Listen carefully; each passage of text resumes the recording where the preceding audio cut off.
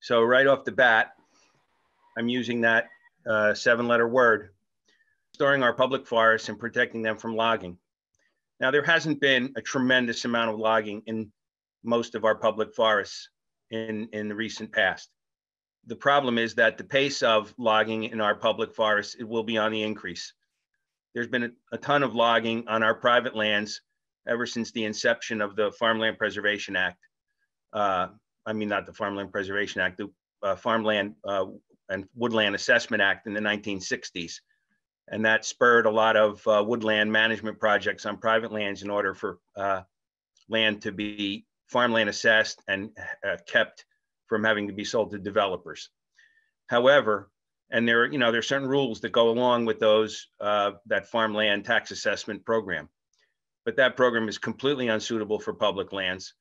Since the 1960s, we've spent billions of green acres dollars acquiring uh, public forests, and all over New Jersey, in every county, um, municipal forests, county forests, state forests, parks, wildlife management areas, and almost none of those forests are protected from commercial logging. So the state natural area system was created 60 years ago uh, in 1961. And the first state natural area was the Shinns Branch Atlantic White Cedar Swamp Forest in Lebanon State Forest, now called Brendan Byrne State Forest. And the proposal was to clear cut this uh, very uh, old Atlantic White Cedar Forest to create shingles and other cedar products. And uh, some members of the public, spearheaded by uh, David Moore, um, decided that it was time to create a natural area system for, for state lands. And so this was the very first state natural area. It's a spectacular place. The trees are probably approaching 200 years old now, but they were only 120 or 130 years old when the system was created. And that's about the age of many of our big trees in our forests now, and especially in the highlands and ridge and valley section of New Jersey. So it's time that we start taking a look at all of the forests that need to be uh, protected from commercial logging and designated as natural areas. So here's a map of uh, the New Jersey Highlands in black outline. The green is um, New Jersey DEP lands in the Highlands, DEP owned lands, and the purple are natural areas. You can see that uh, there's less than 10% of our forests that we've purchased with our Green Acres money have been set aside as natural areas. And there's barely been a new natural area designated in the last 30 years. Um, so uh, we need more natural areas. And one of the reasons that these lands, additional lands haven't been designated is lack of funding, lack of funding for the natural areas program, uh, lack of funding to do surveys, and that whole Office of Natural Lands Management has sort of been uh, defunded over time, while many other DEP programs have remained steady or not uh, not lost their funding to any uh, any anywhere near that extent. So take a look at this. There are two kinds of places. Uh, there are natural areas, which are lands owned by the state of New Jersey that have been at a much higher level of protection. The natural areas are governed by a natural areas council. Any management decision has to run through the council. And it doesn't mean that we often hear that, oh, natural areas are locked up and nobody can do anything. Well, that's not true. If something needs to be done on a natural area, the process goes through the Natural Areas Council. And uh, those folks on the council are from every realm of biological science and the public, and they can decide if something needs to be done in a natural area. They're not locked up. They're not protected from any kind of restoration or whatever work might need to be done if there's some sort of calamity.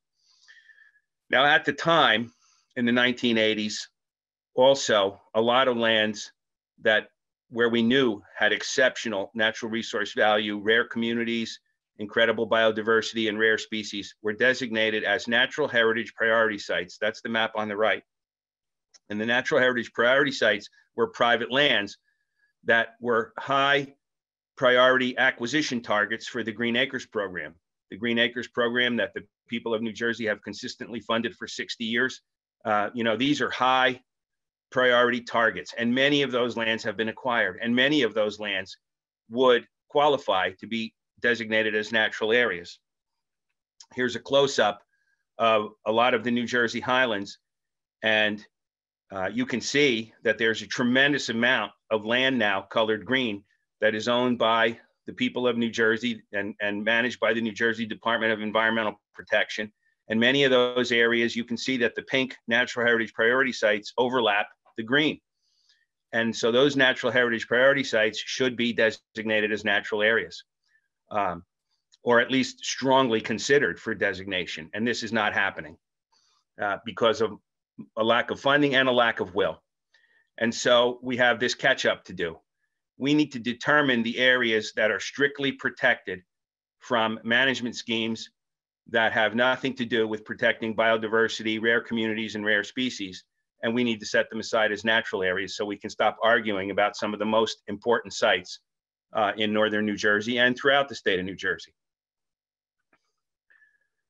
So here's an example of a natural area in the Pine Barrens. This is the East Plains Natural Area in Stafford Forge Wildlife Management Area, managed by the, the New Jersey Division of Fish and Wildlife. Uh, but this natural area embedded within that, that, land, of course, anything that happens there has to be overseen by the Natural Areas Council within the Office of Natural Lands Management. That's the, the group of folks that I've mentioned that the staff has been uh, declining and the office is getting fewer and fewer funds as the years pass. These natural areas are some of the most spectacular places in New Jersey, and we need to spend resources in order to protect them. In particular, in the Pine Barrens, one of the most important things is learning what to do about wildfires, how to protect people from wildfires, how to, how to, how to manage the land so that fires can continue to uh, promote the natural processes of the New Jersey Pine Barrens and, and, and continue to allow the incredible biodiversity to flourish. Um, in the center of this map is a private property, the New Jersey Conservation Foundation Franklin Parker Preserve. And uh, it's um, governed by a forest stewardship plan. You've heard reference to forest stewardship plans. In order for the Conservation Foundation to do management of this land and to be able to try to uh, work out schemes for promoting rare species and and uh, taking care of the land and do prescribed burning and, and uh, various other activities. Uh, we did go through the process with the state of New Jersey and the Pinelands Commission to develop a forest stewardship plan. The one thing we did, which is not required, is we did rare species surveys and we continue to do rare species surveys. It's going on uh, almost 18 years. In this uh, particular instance, we know after all these years of study where the rare wildflowers are. We know where the rare snakes uh, nest and den and have uh, critical habitat components. We know where the 12 different territories of the threatened barred owl are on the property. We know where their nests are. And we know a lot about insects, dragonflies, damselflies, and a whole wealth of other rare species. So in formulating our forest stewardship plan, um, we can take those things into account.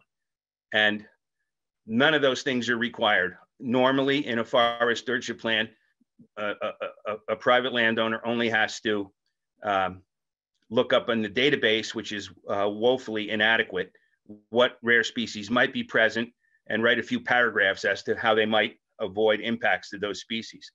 And those same rules apply to the state of New Jersey. And although there's been a lot of progress made by the DEP in starting to do rare species surveys and trying to be a bit more careful about uh, avoiding impacts to rare species and rare communities, it doesn't always happen.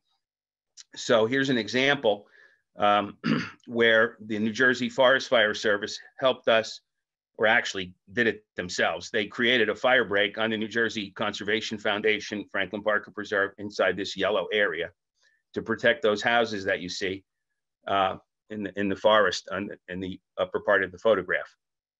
It doesn't look like anything has happened there. Um, the only thing that has happened to create that fire break is a thin sand road about six feet wide was bladed through the forest and you can see that tiny little white line. And then uh, the, the uh, understory, the uh, shrubs and the tiny saplings and very small trees were mowed in order to clear the forest understory. It's a 150 foot wide fire break. The process is called thinning from the ground up. And the New Jersey Department of Environmental Protection has been employing this process now for a few years uh, with tremendous results. They haven't had to resort to commercial logging to create fire breaks in most instances, but not always. And it's very effective and it, and it creates an area where the Forest Fire Service can defend uh, residential areas or other uh, human occupied areas from wildfire. Now, the thing about this is that we didn't have to remove a lot of trees. In fact, almost no canopy trees are removed. You can see there's hardly any difference between the forest inside the fire break, between the two yellow lines, and the forest on the left-hand side of the photograph, where nothing was thinned at all. Here's an example of a much more aggressive fire break around a retirement village where 90% of the canopy trees were removed. And uh, in, in the pine barrens, when pine trees are removed, there's no real market for them. Uh, they're pitch pines and they're uh, of really low quality, and so they're just uh, pulped or mulched. And so any anytime that happens in the pine barrens, all of the all of that wood fiber only lasts for a short period of time. It either uh, you know gets converted into mulch or other products that you know don't last long, and all that carbon goes back up into the atmosphere. So now that's not to say that that's not an effective fire break and it's cheaper to do it this way because uh, if you have to do that forest mowing, it costs money and time and energy. Whereas if you do commercial uh, wood product removal, that's almost pays for itself. It still costs money, but it's not, not as expensive. So there's a trade-off. What should we be doing? Should we be worrying about keeping the carbon on the site, keeping the carbon on the ground, and keeping the canopy intact, or we should be trying to do it the cheap way and removing the canopy and not dealing with the, the uh, long-term carbon storage issue. So this issue of defending carbon, defending the forest from wildfire is called carbon defense.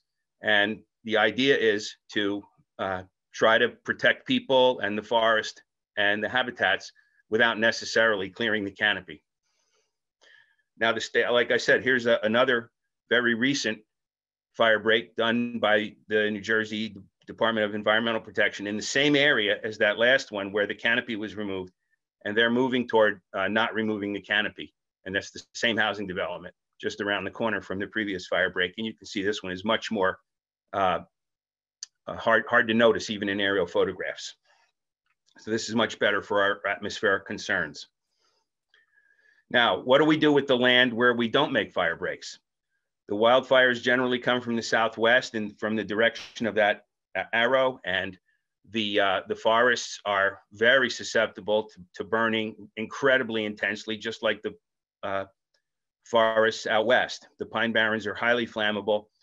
Uh, they're very different from the forests in the rest of New Jersey, and so we wildfires are a real concern in southern New Jersey. So what do we do there? Well, once you have that yellow fire break, then you can do a prescribed burn, and this is a real prescribed burn. These are the the tremendous folks from the New Jersey Forest Fire Service. They, they know how to do this better than anybody, safely, carefully, and uh, they can con conduct a controlled burn. And this controlled burn, we tried to make it as hot as possible to mimic the effects of a real wildfire, which are ecologically beneficial. And so it looks like that's, you know, like any like anything that you've seen from the, the films of the forest burning down in the western U.S. And that's a pretty amazing fire but it doesn't kill most of the trees. So how many trees did it kill? Well, this is an actual, this is six months after a wildfire.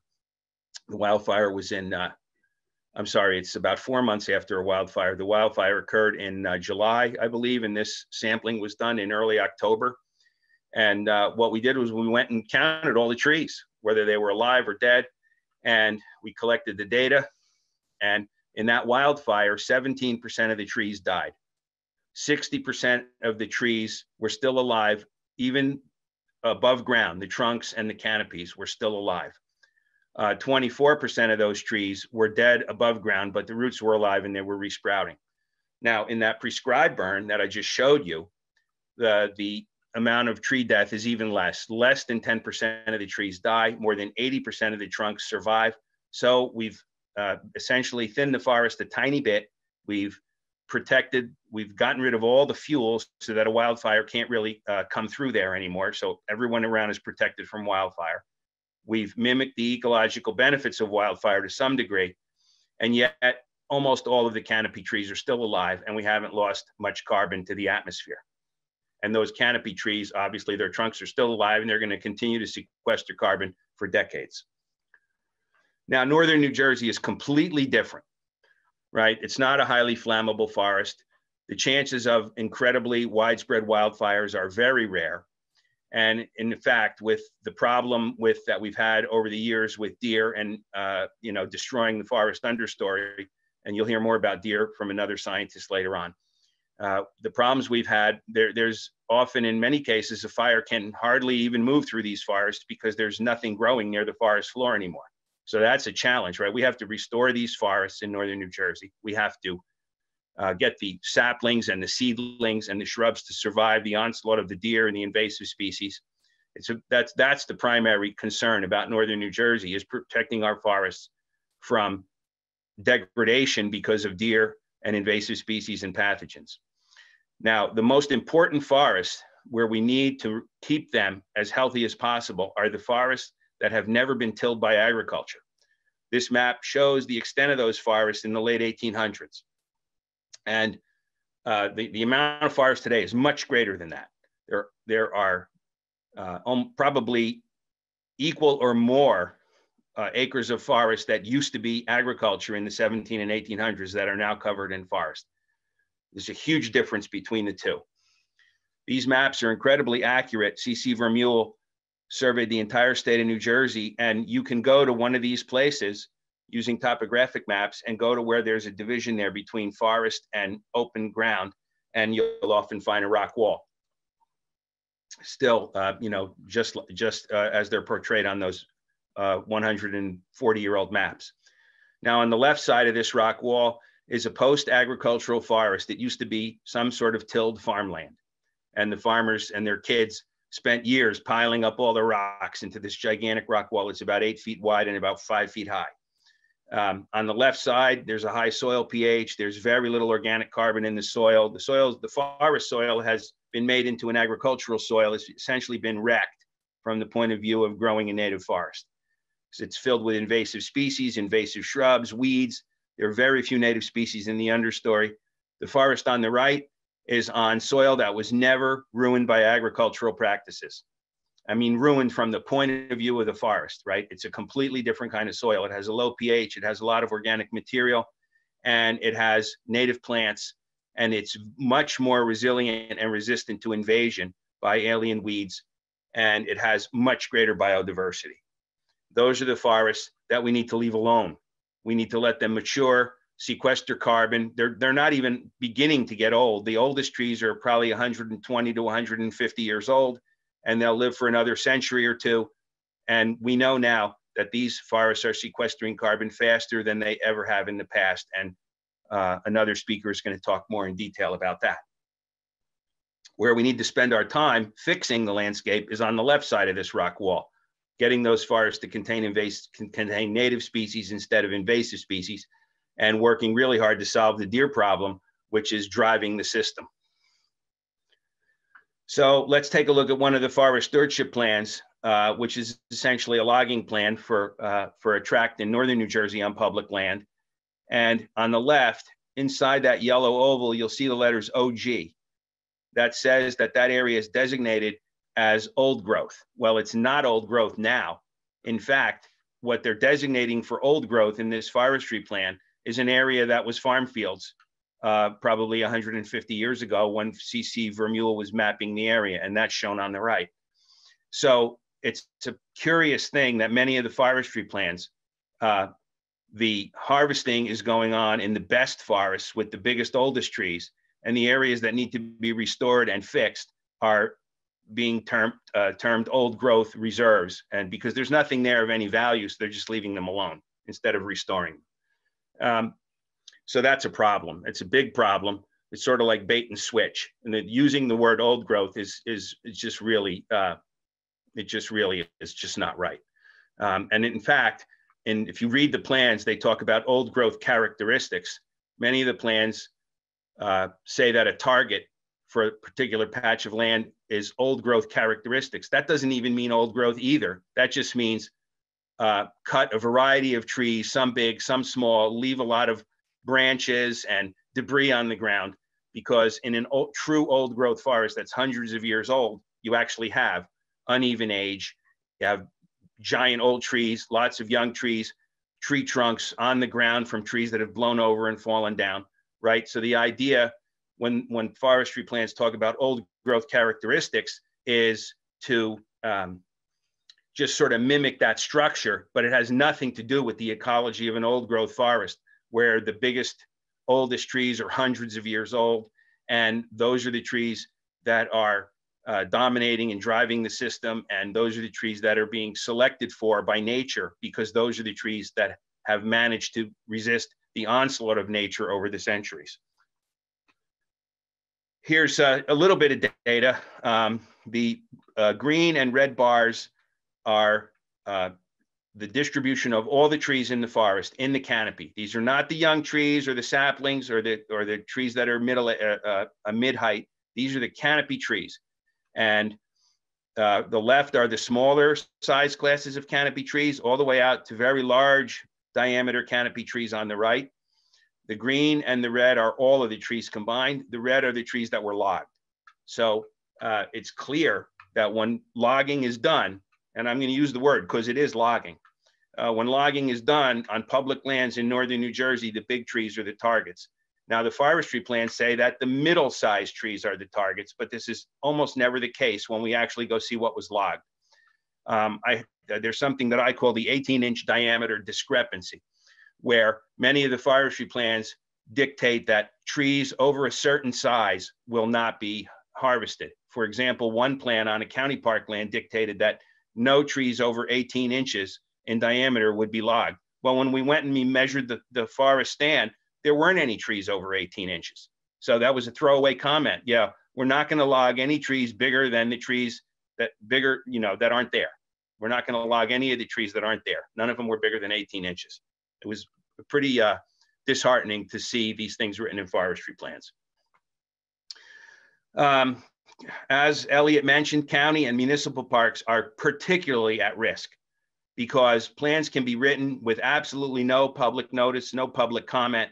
And as this site in Hunterdon County was discovered by a researcher, uh, the trees were weeks away from being cut down. All the biggest trees and one of the oldest forests in Hunterdon County. There were incredible rare plants that would have been destroyed, shade tolerant and shade loving plants. And yes, there are such things as shade tolerant and shade loving plants that can't survive when the canopy is opened up.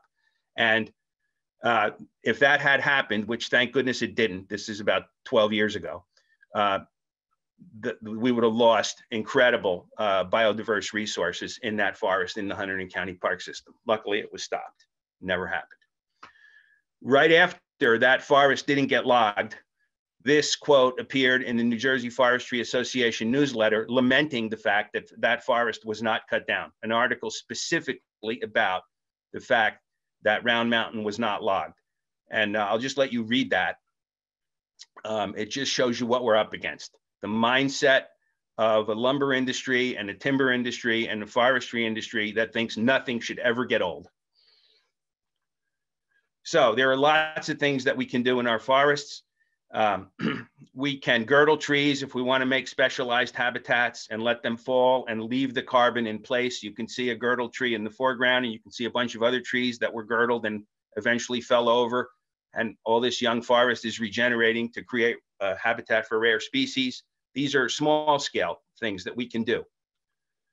Um, and of course, you're going to hear a lot more in some of the talks that are coming up about protecting our forests from deer and invasive species.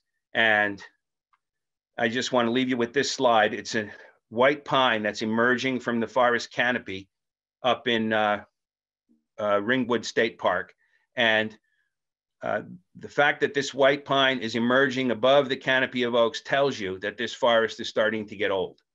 Um, the white pine is a canopy emergent, which grows way taller than all the other deciduous trees and we can see them emerging from the forests of the northern New Jersey highlands and Ridge and Valley provinces now, because the forests have been left alone for, in some cases, over 100 years. And so we're starting to see the signature of forest approaching old growth.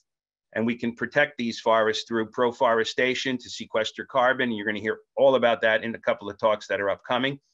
And that should be uh, something that you look for when you drive around the forested hillsides of northern New Jersey, when you see big white pines emerging above the canopy in the middle of the forest. You can look at that and say, holy mackerel, our forests are just starting to mature again, and we need to leave them alone.